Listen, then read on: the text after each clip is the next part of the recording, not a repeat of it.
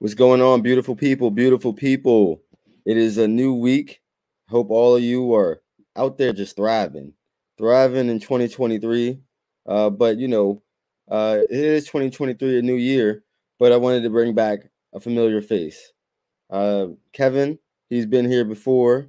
Uh, he's a man of many talents, a jack of all trades, as I like as I like to say.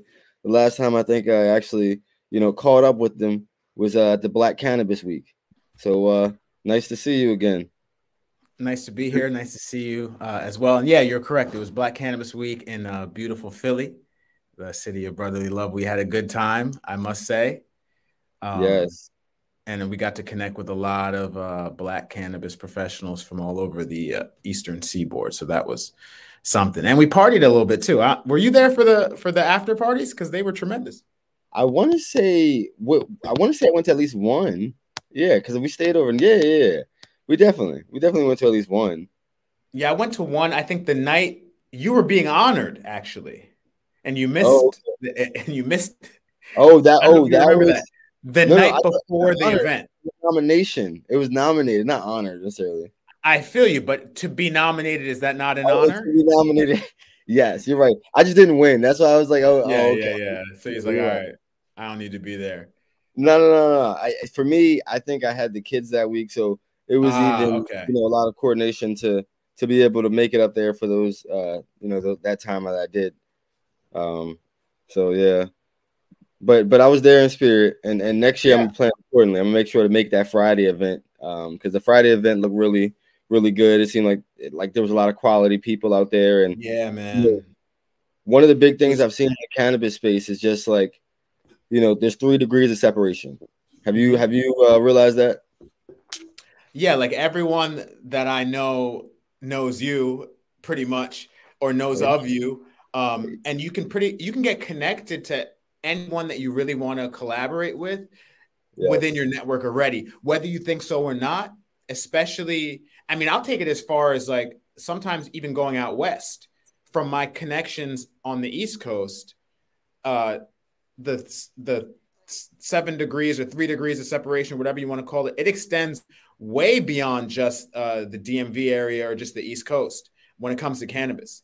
Uh, and I think that it's very important for us to leverage that community uh, because, you know, you're a politician, you know how important uh, the size of the voice is in the battle, right? Like if you're trying to make some change, one person can do a lot for sure, but one person that's backed by a nation of a community can do a lot more.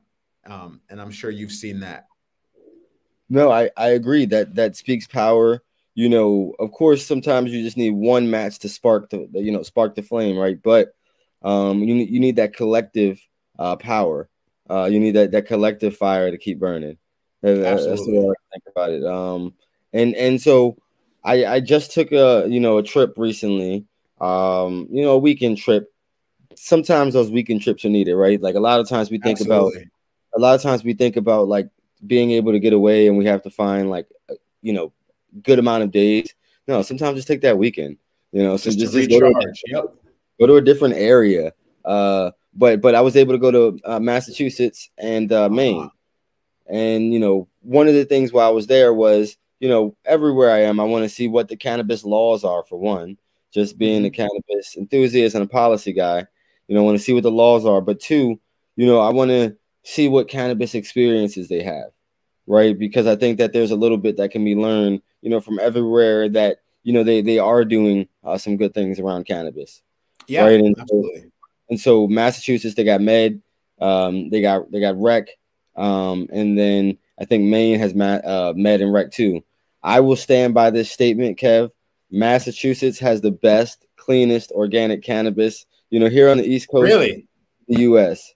You know, they, they've had a medical program for a long time, and that probably contributes to that. Because one of the issues that I always find with new jurisdictions that open medical programs is that they are required to cultivate their own cannabis naturally. So yes. it means that you know, people are essentially starting from scratch. You have an entire market starting from scratch, whereby the standard of California has been long set, right? And I think that's one of the difficulties navigating these new markets is that, uh, you know, people have a certain standard of quality uh, that they associate with the black market. And then when the white market occurs, and also I think we should stop calling it black market and white market, by the way, but we'll get to that later. Uh, yeah. But when when the new markets uh, uh, emerge, people have to essentially, unless you're shipping growers in from California, which they did in uh, Michigan uh, quite a bit a few years ago, but like for DC, everyone's learning from scratch. Like I have some friends yeah. that are putting together a cultivation um, center right now in DC, and uh, you know they're in contact with the government. They're doing everything by uh, you know on the right side of the law, and but they're starting from scratch. Like they're learning how to grow to eventually have an industrial size grow in the next year to 18 months. So wow. it's it's crazy. It's crazy. I, I mean, they're very committed. Is it, wait, have, is that the program? Is is that the program that was uh that was next to Capsterdam? Is that the uh, no. So uh, it's not next to Capsterdam, but it's it's um, it's I don't want to exact. So it's affiliated with a company, right, that operates in the gray market. So I don't exactly want to. Uh, I know. I understand. Much. Hey, I get but, you. I get you. But they're they're I need the information after. I need the you know that, that's what I'm yeah. saying. they're transferring over to the mainstream market once that happens. And the interesting thing is like now in DC because I'm I live in DC. Uh, the people I believe who are going to win are the ones who are preparing as if the laws and everything is already in place, as if all regulations are in place. You have to prepare ahead of time.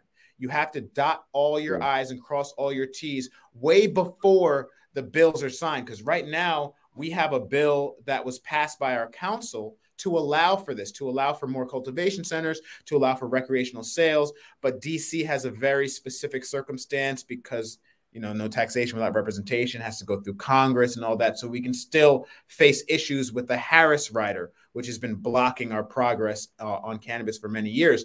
But the people that I believe and the companies that are going to win are the ones who are putting together you know the groundwork for testing facilities for cultivation centers from now, before things are completely perfect in, in place, the ones who are working right now are the ones who are going to win. Yeah, agreed, agreed. And and so one of the things that, um, of course, you know, I'll, I'll come back to Maine and, and and highlight them, talk about my favorite brands. But one of the things I was talking to somebody about what to look forward to, you know, in in the Maryland market, because of course in the Maryland market, we'll have a few things popping up, right? In, in July, legalization happens. We voted overwhelmingly, um, you know, this November that we should legalize as a state.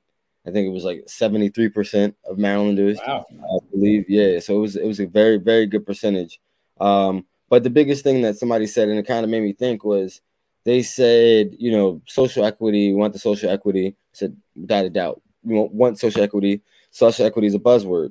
So yeah. what I basically what I basically said to them was, you know, what exactly do you want? They want unlimited licenses. I said, okay, you know, I entertain that. I said further, I said further than that.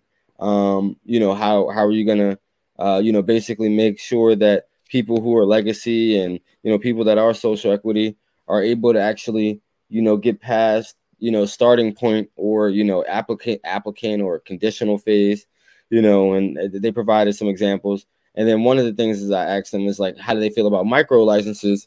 And then outside of micro licenses, you know, how do they feel about the cottage businesses? Right. And, you know, I explained to them what the cottage businesses were. And explain to me too. What is the cottage business? Sure, sure. And so basically, a cottage business, um, like think of it, I have a friend who has a CBD hemp company. Um, and you know, at this point, you can legally sell CBD hemp right? Um, she goes to the the farmers market, you know, sells her products. She sells her products at other fairs and you know festivals. And so, if we you know had cottage business licenses, we can allow you know uh, people just like her, you know, have CBD and hemp, but also oh, okay. THC uh, products to be tested and sold, you know, in the in the recreational medical market, right? And and kind of so, like a pop up, a pop up license of sorts. Yeah, it, it would be like yes, it would be necessarily a pop up license of sorts, but like I would think of it like a like a micro they like most of them would be micro cultivators to to an mm-hmm. extent, right? And then they're just um, making products out of the the, the the, the plants that they are are cultivating. Um, and so it's essentially like kind of tied to home growth for the most part, because most of the people that I know that would be cottage businesses, um, you know, like let's just say they've run a, a CBD, um, you know, and, and a credible, uh, credible uh, pastry company, you know, but then they want to start learning how to do the infusions and stuff like that. So with yeah. that being said, they could be like that cottage business, right? And so okay, and then so, they could offer like some sort of like kind of like a temporary, you know how like um if you want to do an event, you can get a temporary liquor license. Um, it's like an extension of that, maybe a temporary license or a smaller yeah. license that doesn't have the same barrier for entry if you want to have like a smaller business. Exactly. Exactly. So, so think of it as like imagine people starting with the food truck for years before they got a restaurant, yes, right? And and, that, and that, and that food truck helped them, you know, get to that stage where they can, you know, afford the overhead of a restaurant and, and more mm-hmm. employees mm-hmm. and to actually branch out. And so it, it's a way for those the, the, those smaller businesses to kind of scale up organically. Um, it, it, if so, they're, they're they're doing well. And you know, like one of those people I could think of is Have you ever heard of uh Lucy CBD or Lucy's lozenges or Lucy Lucy's Escudero? lozenges? I've heard of. Yes, I've heard exactly. So I would think of like her as like one of the like more like macro college businesses, right? Like I'm sure she mm-hmm. started out of her garage or something. Like now she's you know, award winning and you know, like like like giving speeches all over the U.S. You know what I mean? Like, yeah. Um, and it started right out the garage, right? Exactly, something exactly. like that, or something like that. Yeah, yeah, exactly. But so what that what that person proposed was they said, imagine if you know these cottage businesses were able to get selling first. Like, imagine if they, they were the first ones to be able to sell in the market. Like, I would think that that would be you know real equity. And I was like, hmm, that's a yes. You know what? And, I'm gonna. You know, I said I'm gonna come back. That that's not a terrible idea. Um, quick question for you. Uh, as far as social equity, do you know if New York? Because I know New York just opened the first two legal recreational dispensaries. They just opened in the past few months, and they had a mandate to have some percentage of the dispensaries go to social equity candidates, specifically people affected um, by the war on drugs. You know, uh, returning returning citizens. Um, do you know anything about the New York system by any chance? Because uh, I know that they just started. And I was wondering. This is kind of like an off-topic thing, but I was just wondering if, if any of those two dispensaries they just opened are legitimate social equity dispensaries because they were supposed to be. The first ones were supposed to be. That I that's probably a good question. So I have to check in with my New Jersey folks. Um, mm. I would say that I think at least one of them were like mm-hmm. minority owned. Yeah. Um, I, I do believe I remember that, and I think it was the very first one. I believe that one was minority owned, like by him and his wife, I believe. Um, okay. I don't I don't remember the second one, but I will check in with my New York folks. So that's a great question. I know that New Jersey had been doing a lot better with like um, incorporating people who were quote unquote legacy market, um, you know, who had fueled the economy, you know, long before we had talks of legalization. Yes, you know, so. which is a nice way to say it. Uh, I, you know, you know, it's funny. I have to give credit, a little bit of credit to the DC Council because, as difficult as they've well, let's not say difficult, as difficult as the issue has been over the past few years um, with these like emergency votes and like threatening to shut down uh, the gift shops in DC, they actually collaborated with the I 71 committee, which is a committee made up primarily of Black and Brown citizens in the cannabis industry, specifically in the gift shop industry in DC, to write the law together. Um, which is like one of these very rare moments of like civic cooperation that you really just got to applaud because for the longest it felt like the DC Council was trying to gut, uh, you know, kind of the heart of the DC cannabis industry, but which was the gray market credit which, was, was, the, the gray, market. Yeah, just to be clear. I mean, because I, I mean, I love all of the medical dispensaries in DC as well, but they can they could never handle the size of the market. uh, the just demand was too high, mostly coming from people from your side of town, Maryland and Virginia folks, which obviously that's going to change soon. But well, uh, well, Kev, Kev, what I wanted to ask you, people might not know, giving them Reader's Digest, what is this white, gray, and black market in DC? Oh, right. And, so know, other places coming up. Okay, so a lot of other places have this too, but DC was one of the first places to have a, a, very large gray market.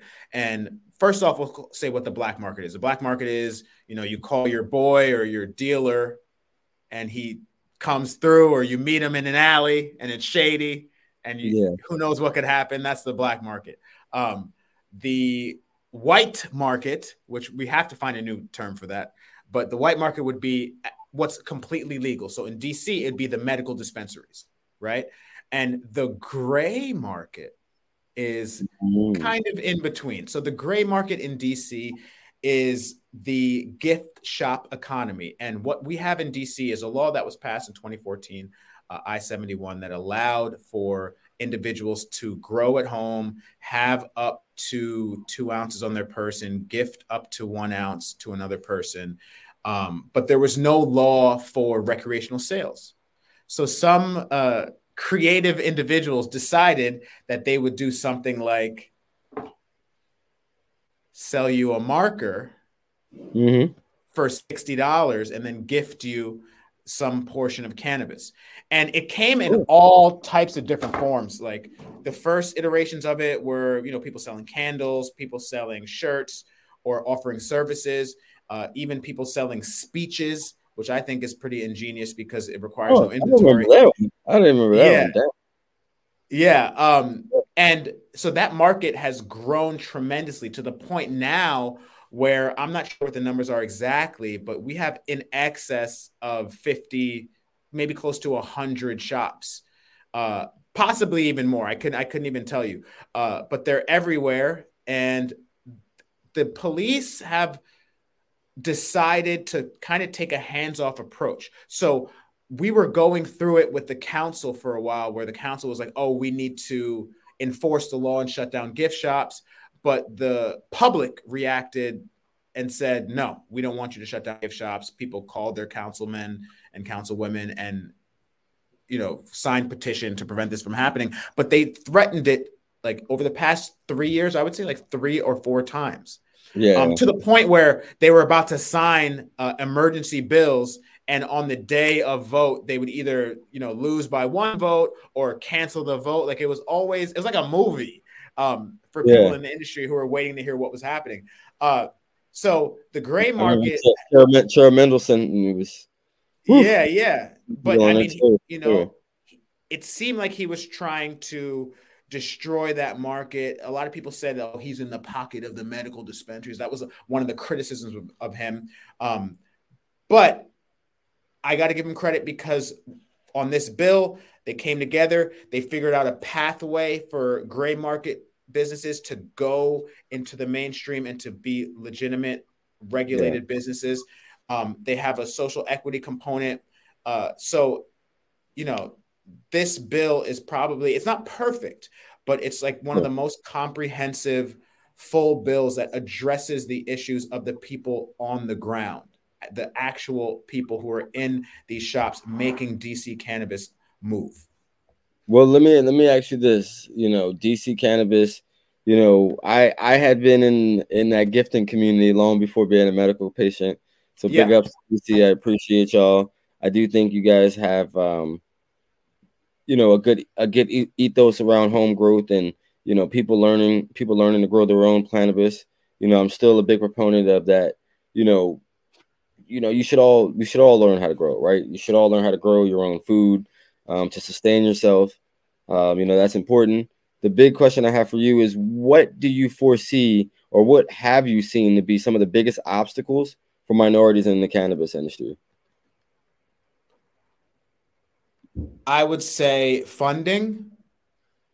Funding would probably be the biggest hurdle just because, for the most part, um, you know, financial literacy is moving and it's it's growing, but in our community, a lot of us are not familiar with uh, how to get from point A to point Z when it comes to like funding requests for a business, especially for a cannabis business.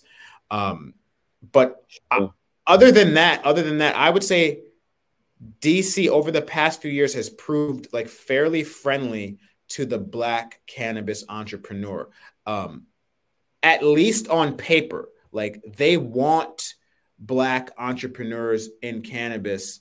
Uh, but initially, they wanted black entrepreneurs in cannabis in the medical uh, arena, right? Uh, the and the okay. gift, the gift shop economy is predominantly ran by black people in DC, predominantly.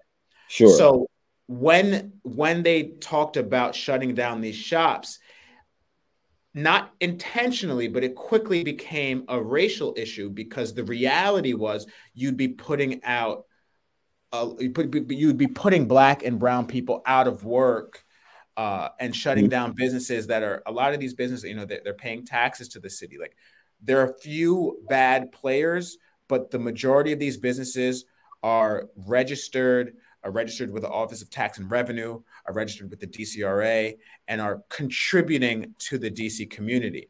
And those are the businesses that are going to graduate into the regulated industry. Uh, there, I, I know some uh, shop owners that have been keeping up with, you know, they've been keeping up with additional taxes that are not even owed in the event that if they're approved, they would offer additional tax dollars to the city. Like wow. Vo- volunteering it.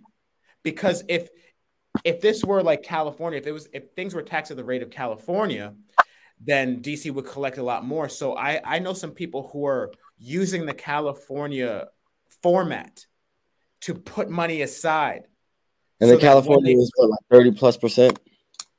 Something crazy like that, yeah. And and what are you guys around 15?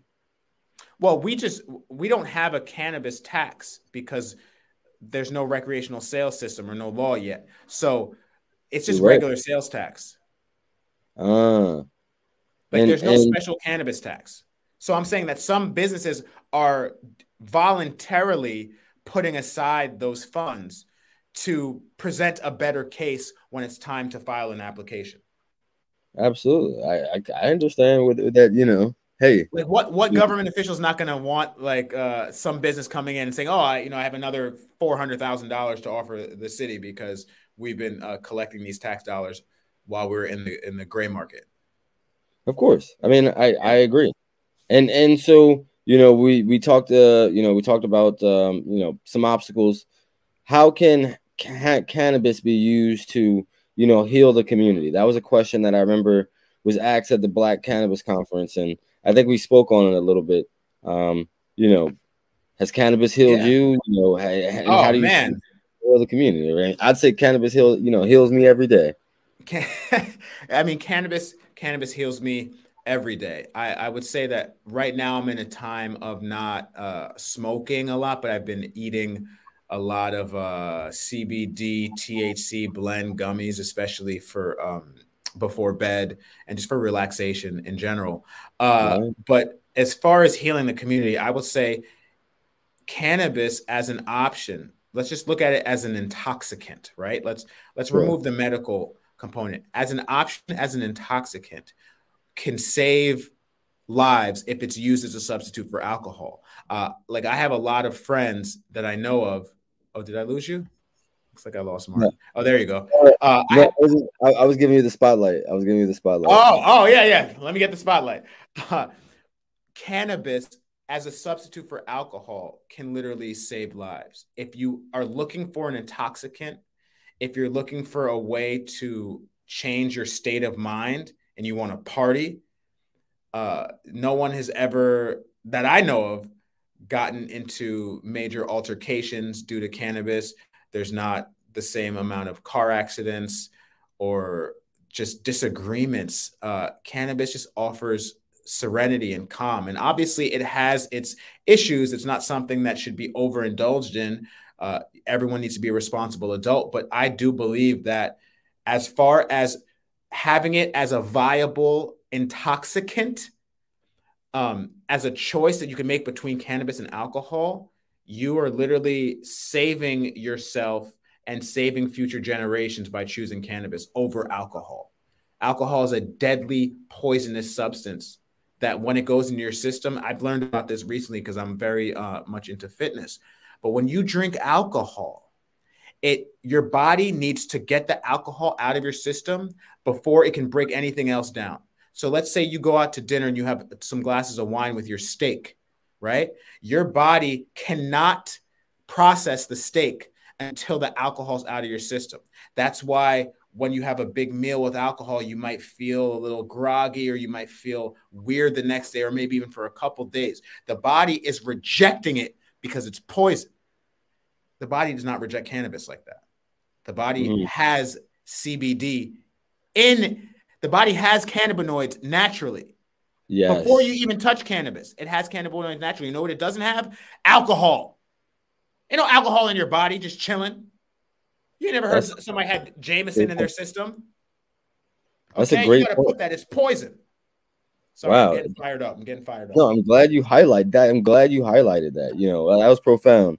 One of the things I wanted to say is, Kev, you're a serial entrepreneur. So I, you know, I, I, um, last time I saw you, I had your own brand of, uh, what was it, own brand of cannabis and vapes. Oh, and... the, the cartridges. Yeah. Uh, so yeah. I, I produce, I manufacture my own vapes. Uh, mostly because it started a few years ago because there was that whole issue with people putting vitamin E and various oils in um, vapes that were people were getting sick, some people were dying, um, and then I noticed that vape cartridges were the largest expanding uh, category of product in dispensaries. So I was like, okay, and I got it because like you know it's they're very convenient. You can smoke them anywhere.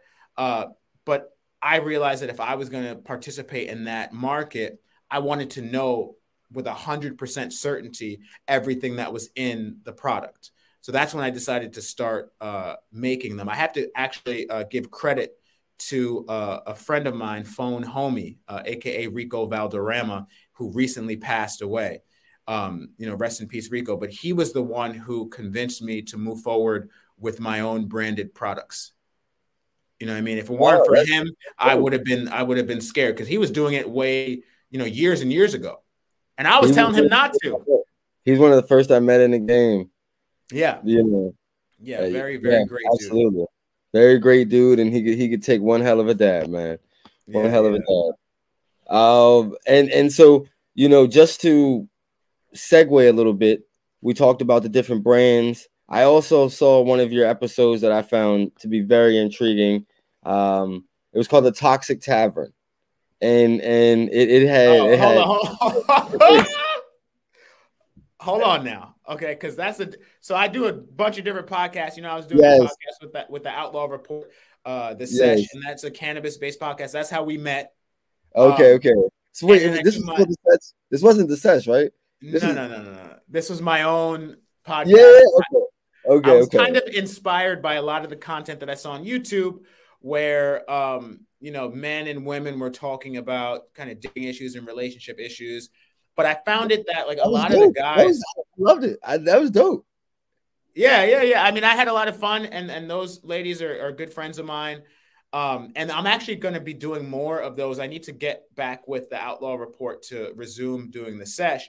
But I'm actually, I just got a new studio. Yeah, um, yeah, you already know. I'm right there. Yeah, yeah. I just I just uh, built out a new studio uh, to be to shoot what's called the KLM podcast. That's my podcast where I'll be talking about mostly I'll be talking about wellness issues moving forward. Like there'll be a couple of toxic taverns too, but I, yeah. I'm gonna focus. My niche is gonna be wellness health, um, you know, CBD specifically, but there will be yes. some cannabis talk there, uh, yoga, meditation, um, gratitude, things of that nature. That's kind of uh, because I realize a lot of people have been asking me for advice on those things, uh, offering to pay me to give them advice on those things, asking me if yeah. I have a coaching program, and I was like, you know what, maybe this is the niche that I should be producing content in. So uh, sure. I will, but I but I'm gonna do the Toxic Tavern again at least once. I mean, it was it was very like you know it was very relaxing and you know it was yeah. something I kind of just stumbled upon. Like it was a different it was a different side of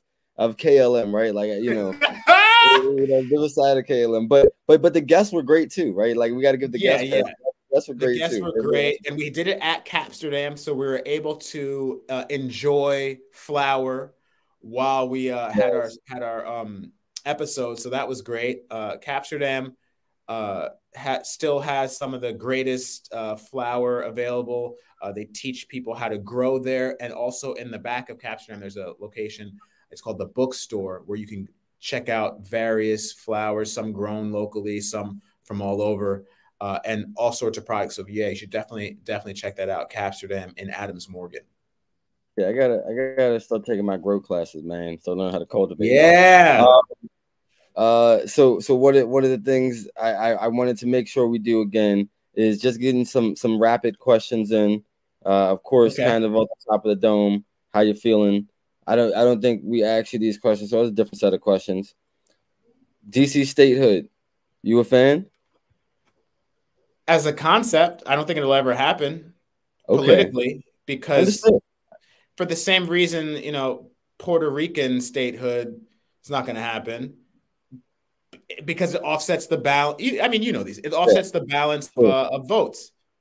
Absolutely, absolutely. But I mean, hey, you guys, you guys deserve a vote, man. And um, agreed, agreed. You, you and it would DC statehood would solve all the issue. Like the reason why we haven't figured out cannabis regulation is because of the lack of DC statehood.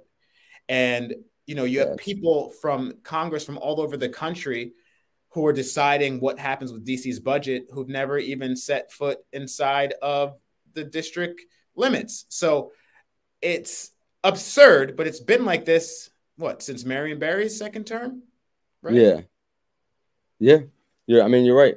It's my next question is favorite anime. Listen, bro, I I'm just gonna say Naruto because it's the only one I know. I I oh, okay. I'm, not, oh, I'm, I'm older right one listen, at least. Listen, I don't know what era it happened where all of a sudden black men were obsessed with anime, but I missed that. I, they didn't send me that text. You feel me? I was on Power Rangers, is what I was on. I was on the Power Say Rangers. Less. Say less. So when they, you know, they Tommy just died. Tommy just died a few months Tommy ago. Did Tommy just die. Tommy did Green just Rangers. Rest in peace, Tommy. Rest in peace, phone homie. Yes. um, well, but uh, well, I want to say black anime is becoming even more popular, and and for me, I didn't notice I liked anime until I got older, right? Like I watched the Pokemon, I watched the Dragon Ball Z, I watched the Sailor Moon, the Yu Yu Hakusho. Um, a lot of those were on like American networks. You know, I think it was like uh Toonami and you know Adult Swim. So yeah. I never I've never actually seen anime, like a full yeah. episode of any show or any film. But all my nephews, my nephews who are in their 20s, yeah, they, all they just they, they listen to drill music and watch anime. Hey, it's, it's a weird combination. It's it's a weird combination. Yes, yes. If you see like a lot of younger music videos, younger you know musical artists, yeah. they, they have a concept. Uzi Uzi has a lot of yes. anime concepts. Uh, Jaden Rob Banks. You, you know Rob Banks. Uh, so I'm, he's a South okay, Florida. No. He's a South Florida rapper, and he's also Shaggy's son. So you gotta check oh. out. Oh. Rob, Rob, Banks with a dollar sign as an as an S. Oh, I, yeah, I I'll oh, send you a few. Yeah, yeah please, please, please. Yeah. And then my my my last question for you is um my last question for you is where's your favorite um you know where, where's your favorite cultivator from? What what state? I mean, you know, or or or not a state, right? What state or not a state? Is it? Well, okay. Before I answer, I'll say this: I recently went to my first dispensary in Jamaica. Uh, my family's Jamaican, and you know Jamaica has a long history with cannabis. It's part of the culture with Rastafarianism. Uh, but they re- they passed the laws. It's legit now. Uh, it's legal. You can go to dispensaries, and I was very pleasantly surprised by the quality of flower that you can get there. It rivals some of the stuff that we can get in the States. And for the longest, I had a tough time finding high end flower in Jamaica when I would visit. But now you can go to a shop. Uh, and what's great is like right out right, medical recreational. Uh, it's recreational, um, because okay, it actually is medical now that I remember because they make you fill out this form and you you basically you self certify. Yes, yes, exactly, exactly. Um, and but you know they have lounges where you could sit and you're like overlooking the beach and you can partake. Nice. And I did that. I did that with my nephews uh, in June of last year. Uh, so shout out to Jamaica. But in response to your question, my area for the best cultivations got to be California. That's the OGs. Okay. Um, you know, I've been to Humboldt. I've been in the mountains. I've seen some amazing things. Um, California still has the best flower in the world. Period. That's fair. That's fair. And and and I have to take my trip. I, mean, I went to California when I was young, so I wasn't, you know, uh, you know, a consumer, but I definitely got to go back and check out, you know, Northern California, especially. Um, yeah. But listen, don't go by yourself. Like I'll tell you one thing about the hill. They call it the hill, right? Uh, if you're there by yourself, everyone looks at you like you're crazy. Um, and some people would say to me, "Oh, it's because you're black. It's because you're black." It's not even a racist thing. Anyone who goes there that's not like accompanied by a known person, they're assuming you're there to poach and to look for grows to rob. And I'll never forget this. So I went. I was at this grow, uh, visiting these friends of mine and I wanted to jog because it's very beautiful uh, in Northern California. You know, you're in the forest, there's mountains, there's streams, it's gorgeous. So I wanted to go for a run outside. And the guy, I said to my friend, "Yeah, I'm gonna go for a run." He's like, "No," he goes, "No, you're not." I said, "Why not? I'm gonna run in the, I'm gonna run, in, uh, you know, in the backwoods. I'm gonna get a good sweat." He's like, "Listen, if you if you go by yourself, you're not coming back." And he actually ha- asked his wife, who's a runner as well, to come with me. Um, and as we're running, you know, she's waving to people who have like secret farms like in the cut. Like I would have never have seen them. You know, what? and she's waving to people That's and saying, Hey, cool. hey. Yeah. And then the next day I was allowed to go by myself because I had seen people and I and I and then I would wave um because they knew I was associated with uh someone who's part of their community. But yeah, if you're gonna go to Humboldt, definitely I've heard, I've heard about the, the, Humboldt and the Triangle. I've heard, you know, yeah, yeah I've heard about it, that. Murder Mountain. Yes, Murder Mountain. But I will say, you know, just just there's two things. One, the best soil that I've had to date, whether it be Colorado, whether it be Maine, was soil that was cured correctly. Number one, and number two, uh, it was grown in living soil, regenerative living soil, right? Like th- those plants were so clean, so organic, so nutrient rich. Um, and you know that that's why I stand by. That's why I stand by that Maine flower because you know I was actually able to check out uh, a living soil grow uh, when I went uh, to to Maine, and so like I intimately asked a bunch of questions. Man, they are running this grow, and I think the water bill um, is seventy four dollars a month. Like so, it's not only yes, yeah. How do they do that? It for for one, it's just the the practices they're using as far as like catching the the humidity, they catching catch the water, rainwater, and all that stuff. Mm-hmm. Yeah, I, I believe they're using some some degree of rainwater. I think that they're they're also catching the humidity um in the room uh, and then reintegrating it back into the plants. Um, and so they're they're doing a lot of great practices. Um, and one of the things that I can really say is like you really you really realize the the cleanness, right? Mm-hmm. When when your weed has no P, uh, I think it's PBR or PGR, right? It has no PGR on it, or it doesn't have any other other spray-ons or additives. Like it's just it's just a very clean smoke. Um, yeah. you so know, you so would say was, you like Maine over Massachusetts as far as as far as purity and oh, cleanliness. Oh, without a doubt, without without a doubt. It's and even the people in Massachusetts, a lot of them will tell you that. But there, there's a good amount of Maine farmers that came from you know Massachusetts.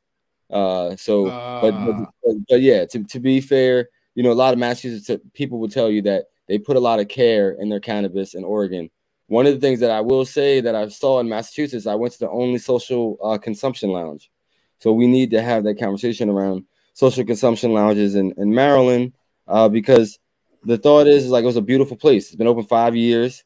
Um, most of the people, or not most people, everyone is membership right? And and um, you know, the thought is it's a community. It's a community vibe. Everyone felt like safe, and it was a safe space for consumption.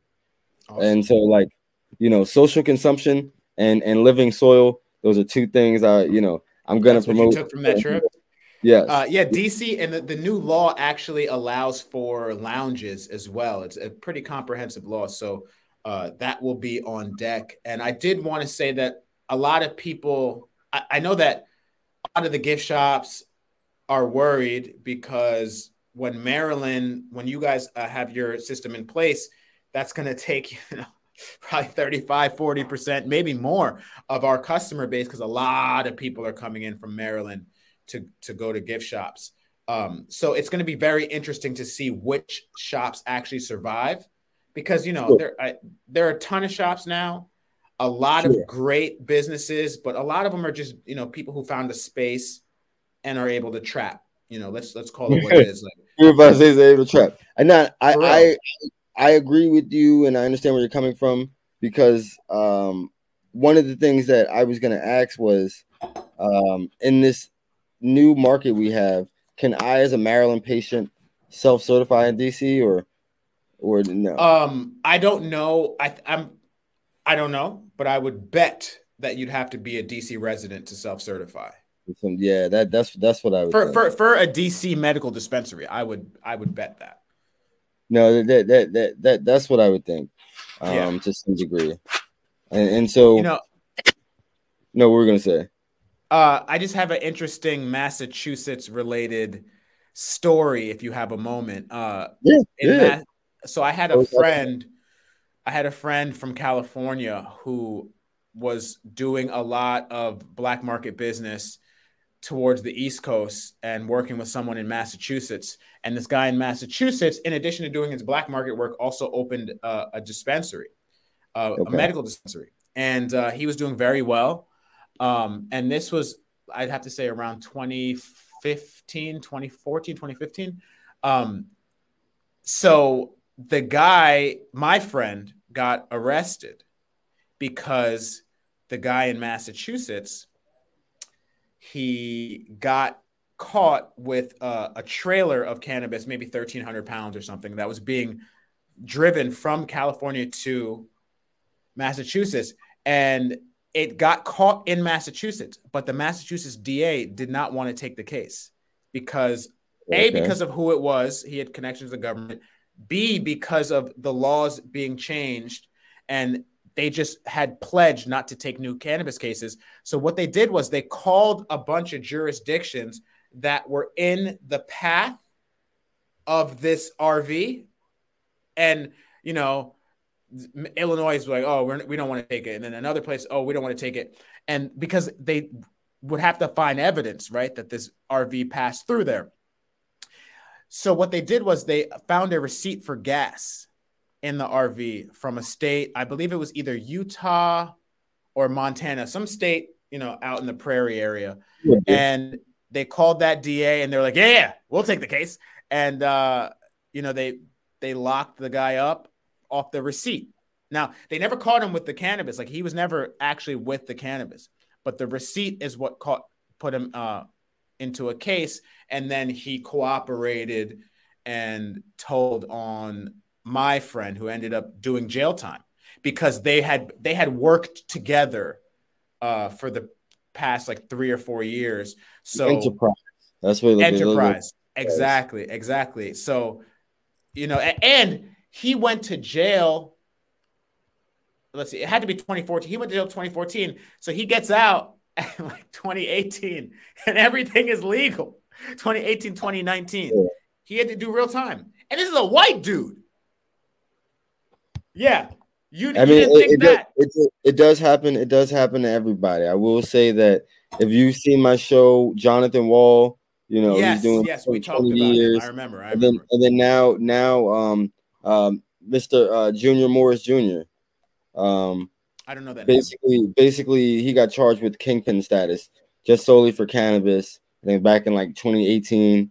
And um this year Tuesday is actually going to be the first time we hear it. There's going to be a bill to decrease that mandatory minimum because his son, I think, was um, given 20, um, 20 years due to mandatory minimum, um, and and basically given that kingpin statute. So they're reducing it to 10 years or that's what the bill hopes to do. Um, you know, mandatory minimums are terrible in its own self, but it, yeah. but like if we can rid away with them, sure, but at least we can decrease it and you know bring bring people like him home, or at least earlier, way earlier because of decreased time and per- parole. So definitely keep you yeah. up to date on that. Yeah, please, please do, man. Uh, I I really do appreciate you having me on here.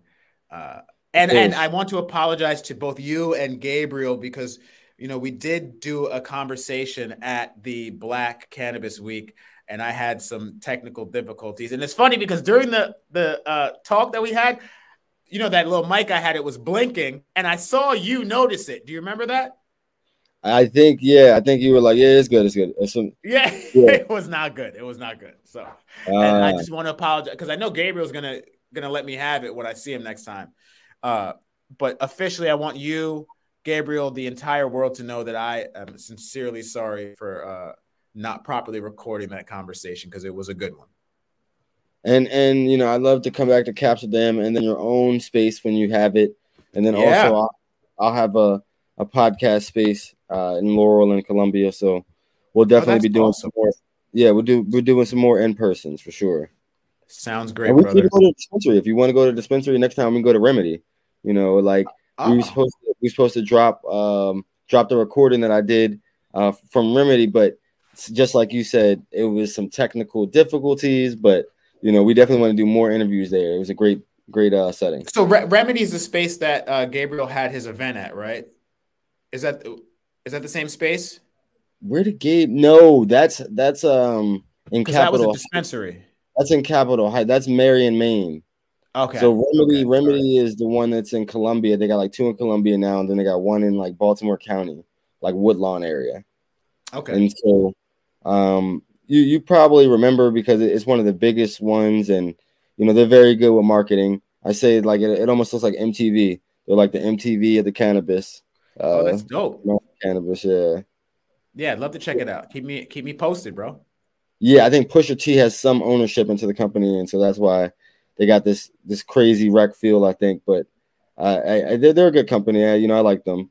Um, but the last thing I wanted to say was tell people how they can stay connected with you. You know, how they can get in touch with you. Um, oh you know. yeah, for sure. Uh, social media, uh, Kevin Lance Murray on all social media except Twitter. Twitter, I'm a uh, at K underscore L underscore M. But yeah, at Kevin Lance Murray on Facebook, Instagram, TikTok. Uh, you can check me out there. For sure. Well, well, thank you so much, uh, Kev. You know, I appreciate you. You know, and I thank look forward to seeing you. Yes, yes. All right. Bye, everyone. Take care. Talk to you soon. That was uh Mr. K LM himself. Of course, you guys stay well. You know, make sure you drink your water and mind your business. See you next time.